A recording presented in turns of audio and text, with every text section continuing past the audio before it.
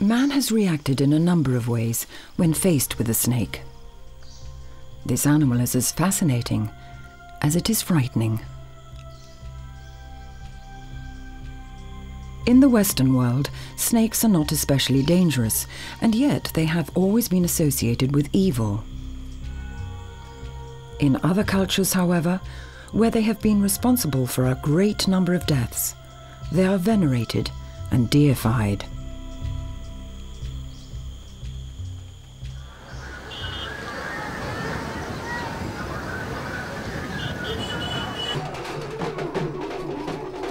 Offering a few coins to a cobra brings good luck.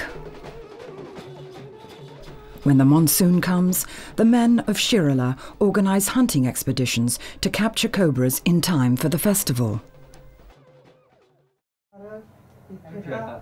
This tradition goes back many centuries. Bajaran, who has been handling snakes since the age of five, has no idea when it actually began. He and his men are part of a snake hunting club. There are more than 30 such clubs in Shirala, and each one hopes to find the handsomest cobra.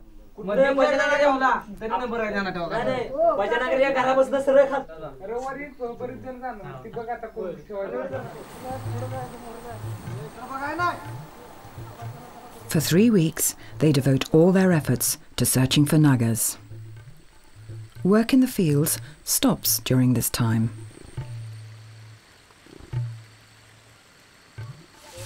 Despite the heavy rains during the monsoon season, they are never discouraged.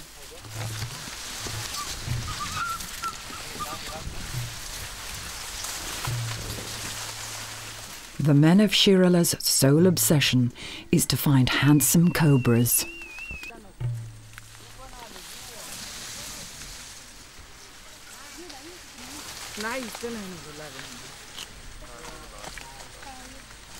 Cobras are especially numerous in the fields and the rice paddies. They feed on rats or mice, thus eliminating the need for pesticides, which are too costly for most peasant farmers. Without the nagas, the crops would be destroyed by these little rodents. Bajaran has found some cobra's eggs, and a few meters away, a naga shed his skin not long ago.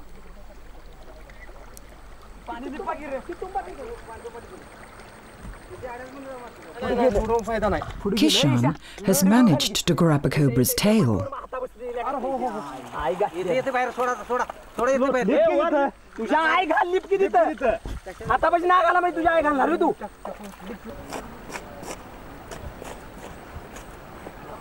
ओढ का तुटून निघल तुटून निघल धर नुसता फोला ए तिकडे काय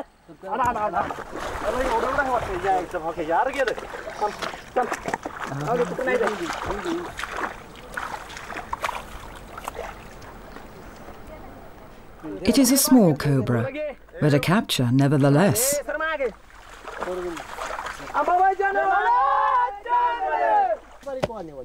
At the same time, Bajaran seems to have come across a spot that conceals some good specimens. एवढ्या वर जातो नाग काय नाग तिथंच आहे तिथं हात घालून थांब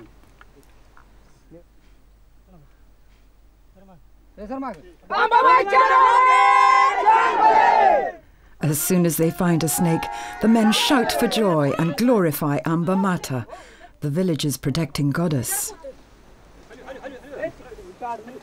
This good looking Naga is their 24th capture.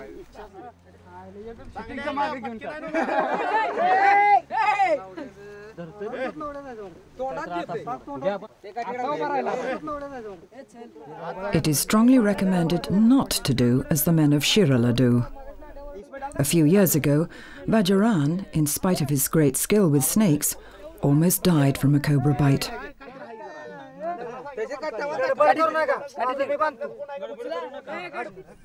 It's literally in the bag. Except the makeshift bag is a pair of trousers this time.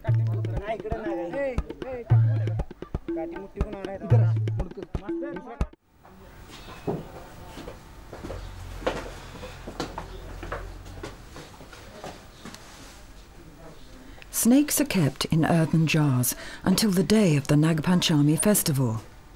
Each morning, however, the animals are allowed to get some fresh air and do a few exercises. It also gives Bajaran the chance to familiarize the young generations with the cobra's presence. In this way, the youngsters learn to overcome their fear. In a few years, they will be handling snakes, just like their elders. The snakes are treated with great respect. For a few weeks, they are part of the community. Killing or wounding them would be considered sacrilege. And whoever, even by accident, threatens a Naga's life will be cursed, as will his descendants for generations to come.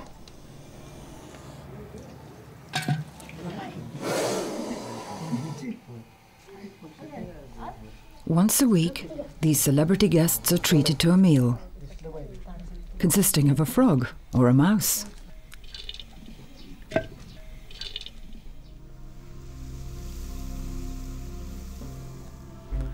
A legend recounts that before the arrival of man, the earth belonged to the Nagas. The Nagas consented to allow man to use the earth for cultivation all year long, except for one day, the day of the Nag Panchami.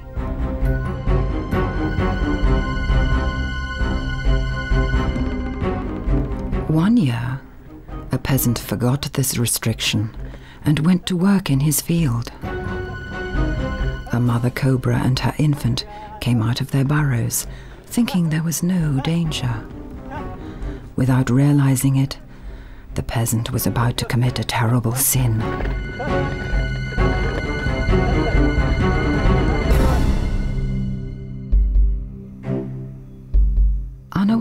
He had just killed a baby cobra on the very day of the Nag Panchami, the farmer peacefully finished his day of work.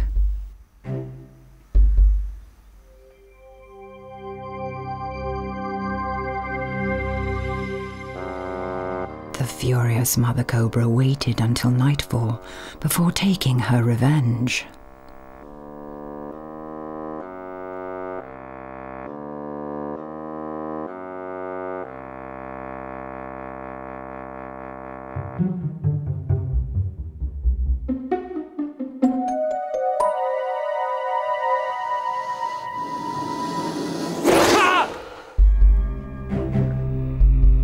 Next morning, determined to kill the rest of the peasant's family, the mother cobra slid into the dead man's daughter's house.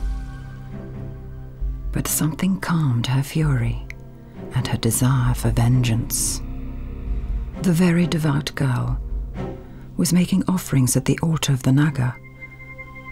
Touched by this act of devotion, the cobra decided to spare the girl.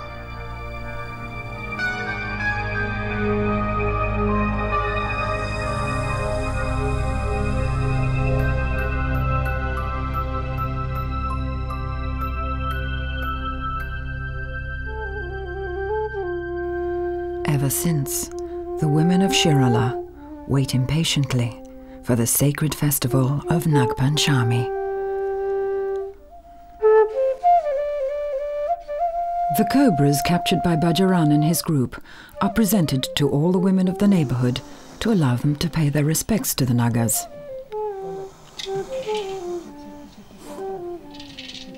The puja ceremony is about to begin.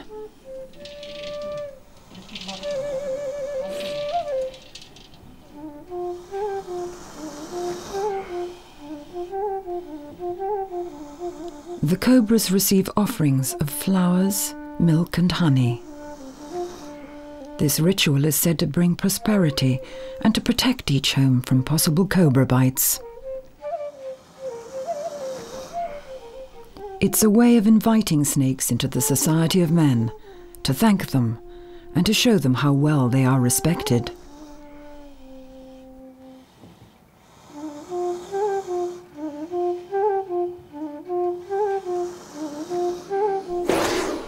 The day after the festival, the cobras are released on the spot where they were first found. Thus, the peasants can continue to grow their crops on the land of the Nagas without fear.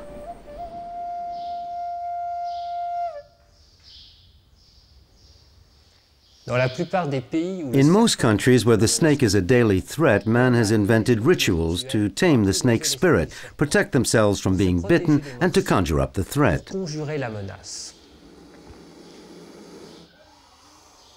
The snake is therefore conceived as dangerous, inspiring both fear and respect.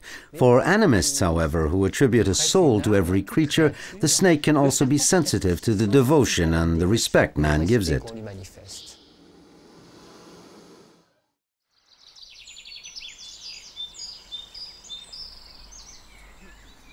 In Europe, too, man dreamed up cults dedicated to snakes.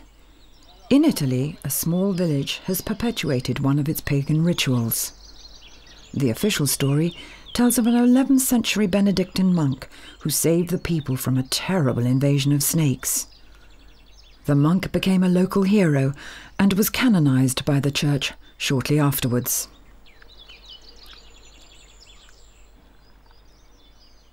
Actually, as early as Roman times, the inhabitants of this region were known to be renowned snake charmers. They were called Marsi and were devoted to the worship of Angitia, a serpent goddess.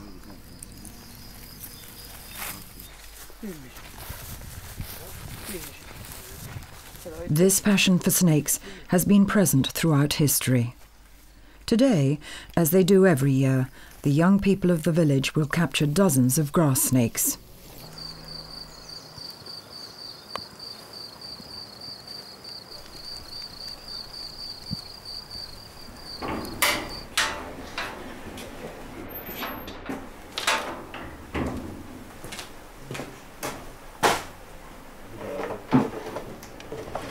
A great procession is held in honor of Saint Dominic, the little monk who, according to the church, saved the people from a snake invasion.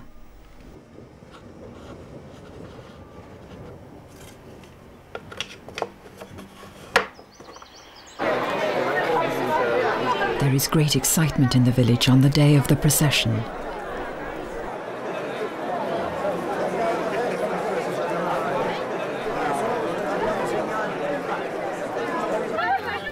Many tourists come to admire these totally harmless snakes.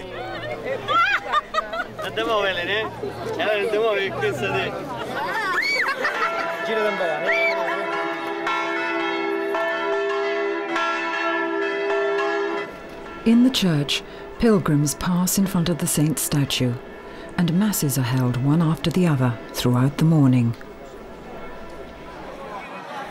Finally, at noon, St. Dominic's statue appears outdoors.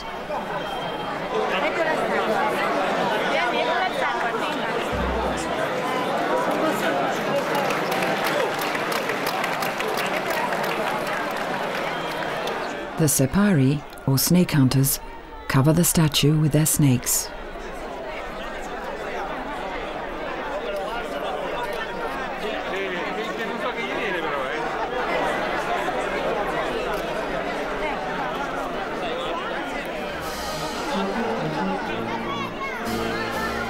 Once St. Dominic reappears, the procession can begin.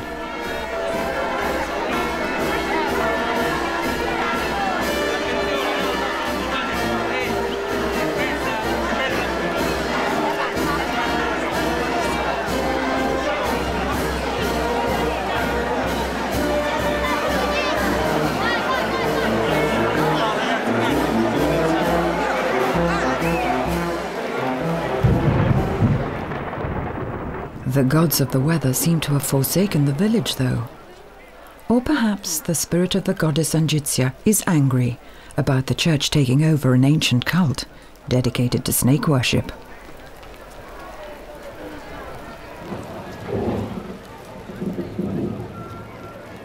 The process of replacing gods by saints has happened several times in history.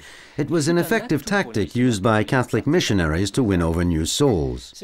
What's ironic here is that the Church had to accept the idea of venerating an animal associated with evil.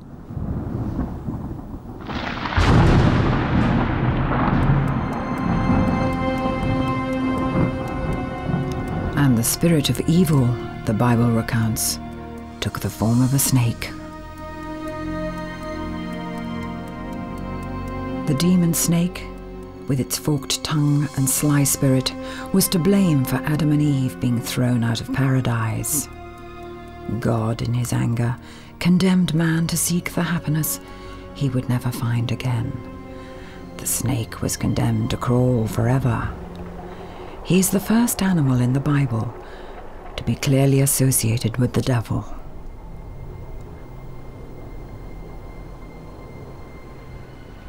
Two thousand years ago, monotheism became widespread and revolutionized the world. Man no longer worshipped a deified animal or half man, half animal divinity, as the Egyptians did. Monotheism consisted of worshipping one God, who created man in his image, and whom he made the leader of all creation. This radical change in perspective was accompanied by a change in the vision of the world. From then on, a strict hierarchy was established with God at the top, followed by man, and below man, pure and useful animals like ruminants and fish, and finally impure and harmful animals whose prototype was the snake.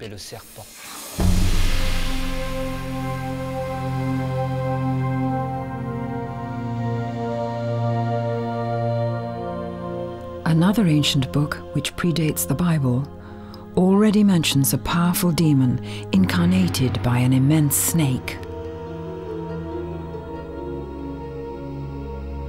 The Egyptian Book of the Dead recounts the journey of a dead soul into the world of the beyond.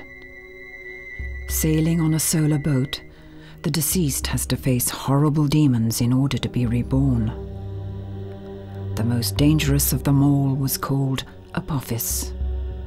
For the Egyptians, this giant snake was the enemy of light, the symbol of chaos, and the incarnation of evil.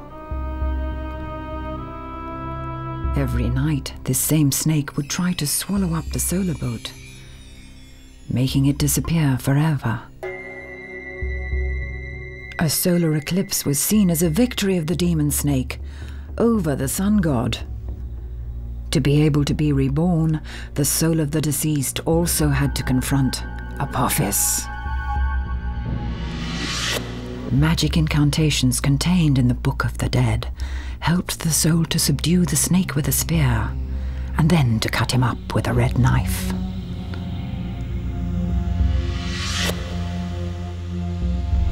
The soul could then continue its journey to another life.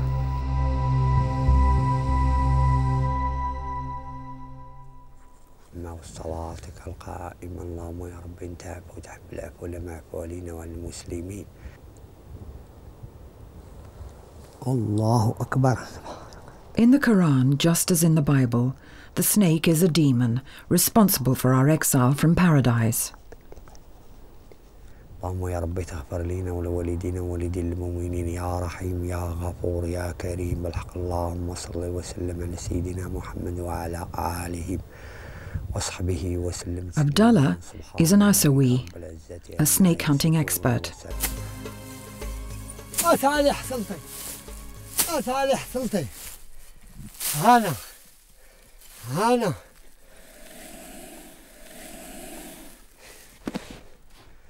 جاي حصلت الكفرة بالله لا آه آه In this country, Snakes are jinns, or evil spirits. أنا عرضت لك موري عبد القادر ها اللي مرفدي بالعار ويجري بحساب الشرفة ويجري بحساب المسجد برا محني آه يا مولاش الكاثريفو آه يا اللي خارجة قاتل أبوها الكافرة بالله Abdullah implores this desert snake to be conciliatory.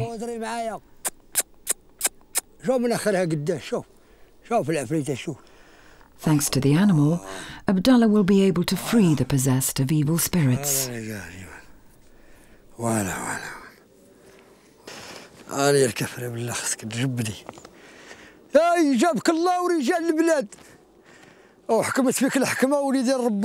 Daughter of Satan, you who were born to kill, help me to save people.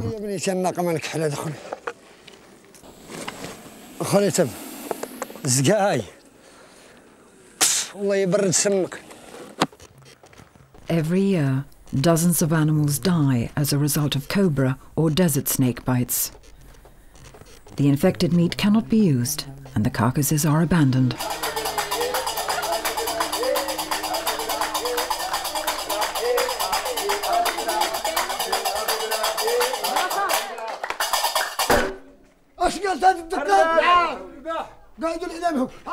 Abdullah asks everyone to help him with the operation. The evil spirits have to be invoked before being able to confront them.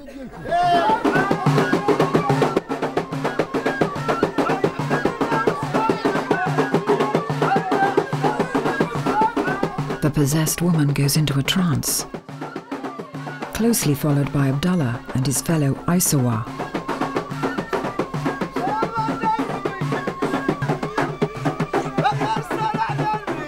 Once the evil spirits have been invoked, Abdullah cuts up a demon to show the Isawa's superiority over the forces of evil.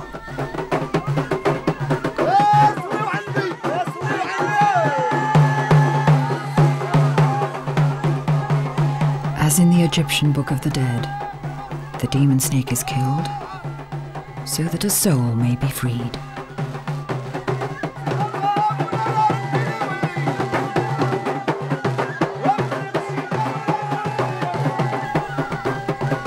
The ceremonies continue deep into the night.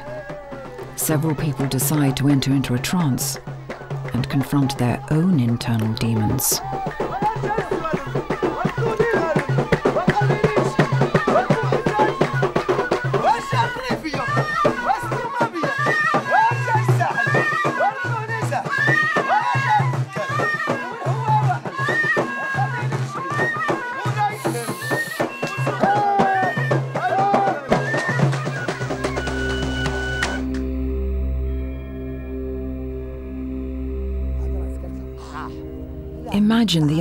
Of early European explorers upon discovering the existence of these rituals.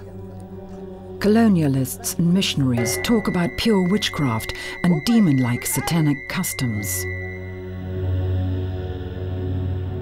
For more than two centuries, the Western world was beset with snake fantasies.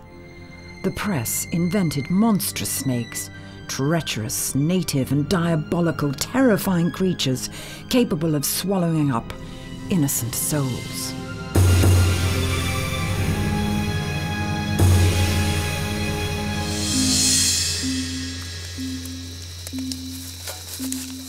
The gigantic size of some snakes, such as pythons and anacondas, has struck the collective imaginations of several generations of adventurers. How can one compare our nice little European vipers with these monstrous serpents? Some can be as long as eight meters.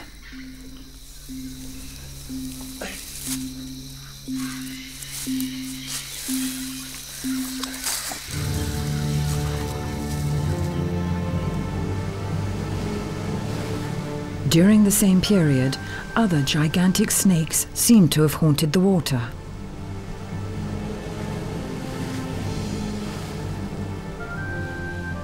During the height of colonial expansion, hundreds of British sailors swore before God and the tribunal that they had seen with their own eyes the beast, the great sea serpent. One American profit seeker scientist had no qualms about creating false skeletons to attract crowds. The sea serpent was a subject of fascination. This incredible animal reminds one of another biblical demon, the Leviathan.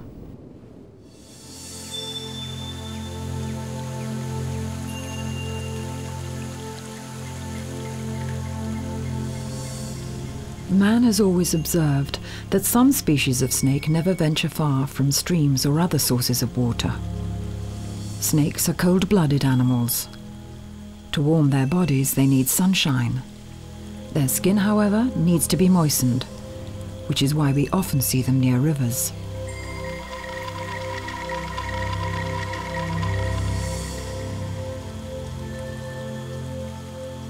For some peoples, the snake has therefore been closely associated with water, both terrestrial and subterranean, lakes and rivers, but also heavenly water, especially rain, so crucial to harvests and the survival of man. The snake has been perceived as a water spirit, a messenger capable of influencing the gods of water and fertility.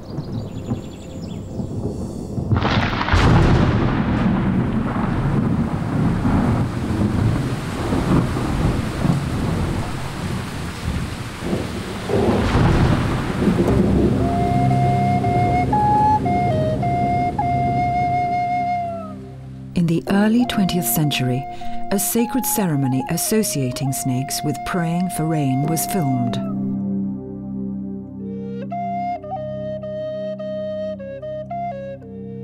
On these desert like plateaus, men and women live in almost total isolation from the world, as if time had stood still. These people are the Hopi Indians, a deeply religious people with an out of the ordinary spiritual fervour.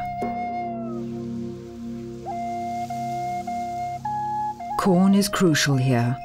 Without their meagre harvests, the Hopis could not survive. Drought, however, is a constant threat, so in order for the corn to grow, they have to communicate with the rain spirits.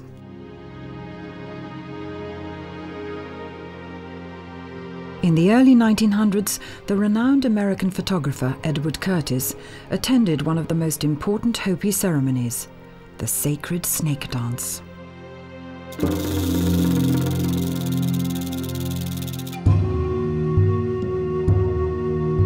For four days we had been looking for snakes. We went out in a different direction every day. We stripped and smeared our bodies with red paint, which is considered the pollen of snakes. At the same time, the chief offered a prayer that the snakes would not harm us. Very quickly, our sacks were full of diamondbacks, sidewinders, bull snakes, whip snakes, but the majority were rattlers.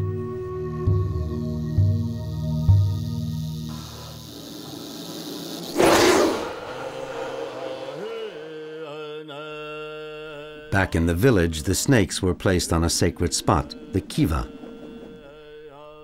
The snakes were treated like special guests.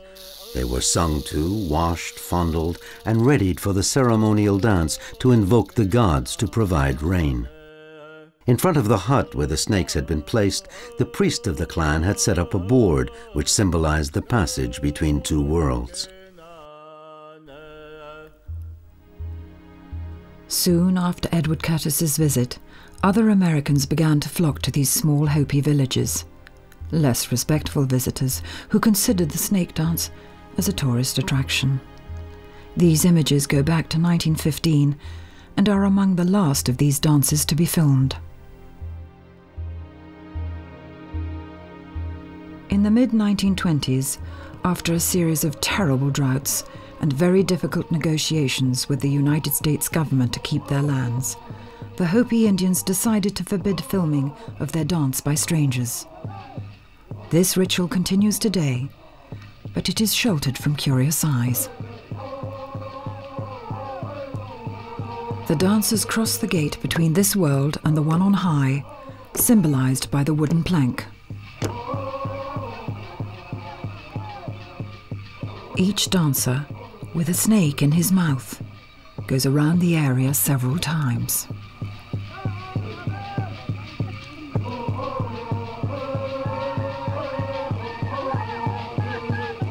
Although none of the snakes has had its fangs torn out, the plant-based potion in which the reptiles are washed must have anesthetizing qualities.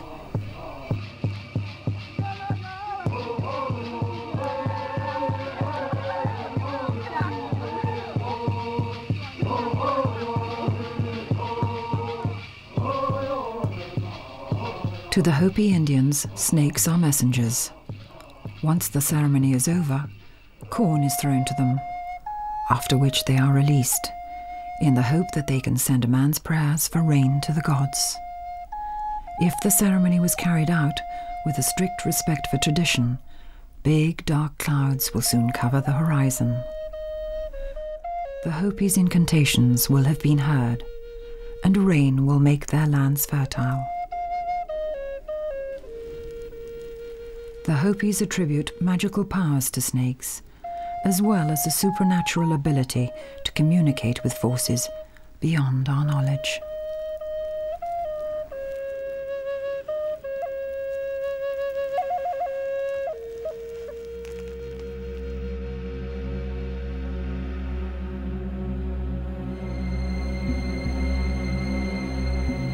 Aztec and Mayan temples bear witness to the past glory of a great snake god, Quetzalcoatl, a winged serpent who was master of the clouds and the rain. From Mexico to Peru, all corn growing societies worshipped the feathered serpent. Quetzalcoatl was often compared to a bleeding cloud, whose blood was a nourishing rain, which enabled the corn and man to exist. However, to nourish this primordial god, Aztec and Mayan priests sacrificed thousands of human victims. Their still beating hearts were torn out of their bodies and placed on the god's altar. Manuscripts from the period describe these bloodthirsty sacrifices in detail. Quetzalcoatl, the god of life and benefactor of humanity, fed on the blood of its people.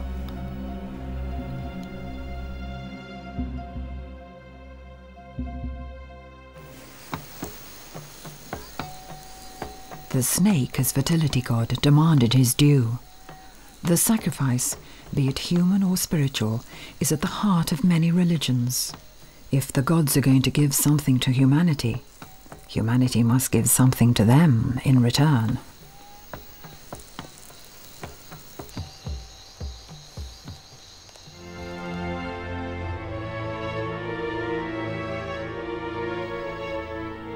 Many rituals linking snakes to fertility have disappeared, although some have been preciously recorded on film. In 1935, the Belgian filmmaker Armand Denis explored the Kingdom of Burma, a country that would become almost inaccessible after World War II.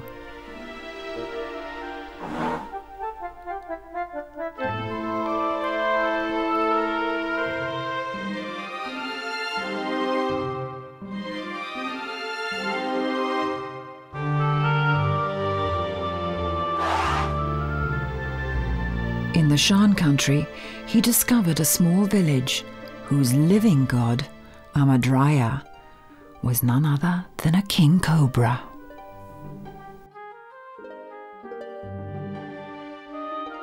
We met the priestesses of the cobra god. In front of us were four generations of women whose existence was intimately linked to the great snake.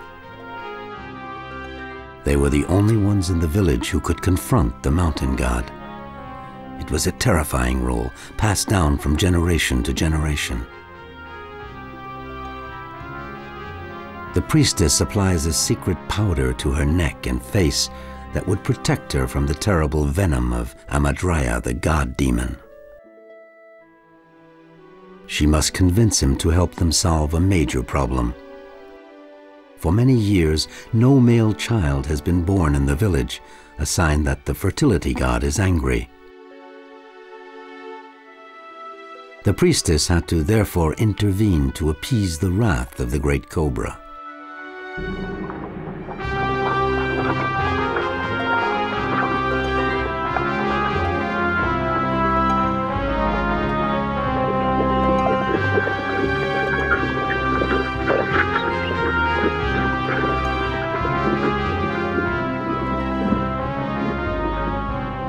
Followed the procession for several kilometers, climbing to the summit of the mountain.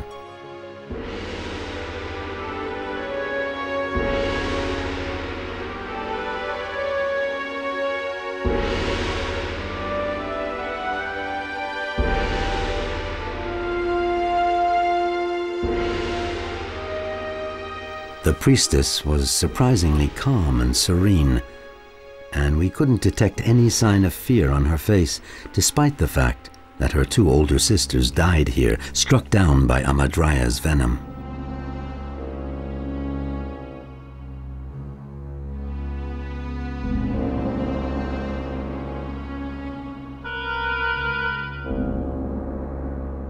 In front of the snake's cave, the priestess began to make offerings to the god, throwing rice and grains around as symbols of fertility.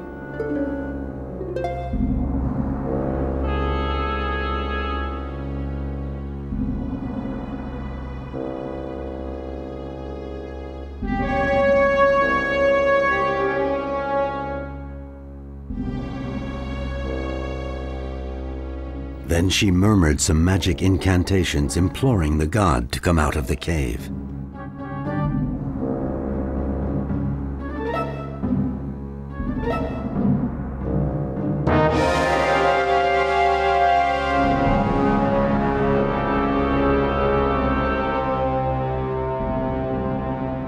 And suddenly there he was.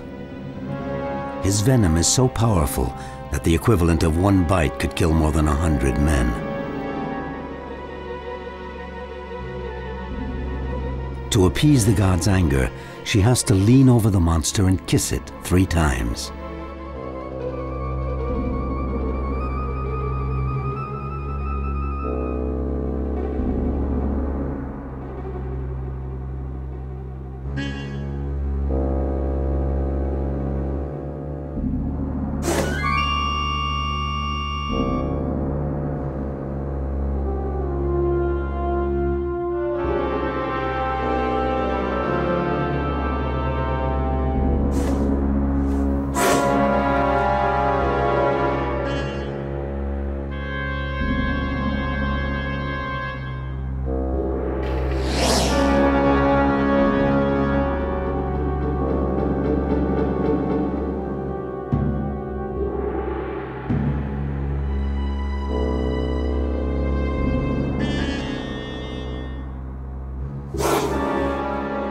The village to continue to live, for the god's malediction to be lifted, and for the women to have male children.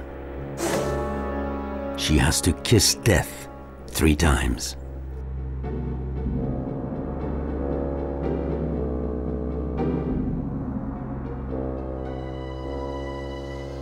By the end of the ceremony, her dress was covered with venom. We never found out if any male children were born thanks to the cobra's kiss.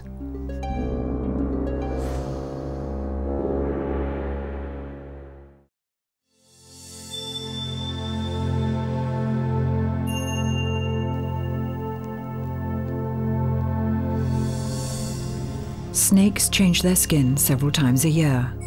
This ability to be reborn and to remain forever young and always the same has given rise to the idea that snakes can live many lives, that they even hold the secret to immortality. The snake has therefore become an immortal creature in man's imagination. He is the cosmic snake, an active player in the creation of the world.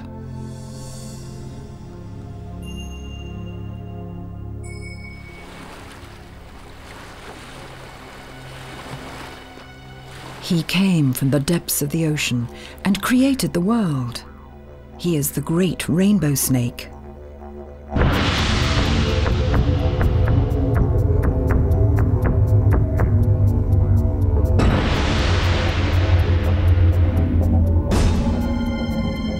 Tonight, the great snake god, common to all Australian Aborigine tribes, has taken over the streets of Sydney. Since a few years ago, Aborigine artists have been renewing the traditions of their ancestors and sharing their culture with the people of the city.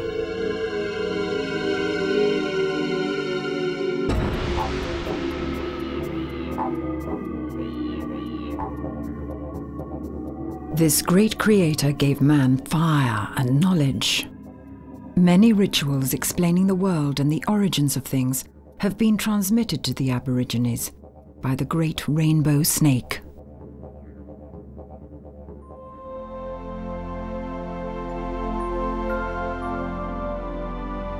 During the dream time, the rainbow snake followed another mythical creator called Ekalawan. Okalawan jealously guarded the secrets of the universe inside him. The great snake, after a frantic chase, managed to steal all these secrets and reveal them to man. On the way, the rainbow snake carved out the mountains, and wherever he stopped to rest, he created streams and rivers.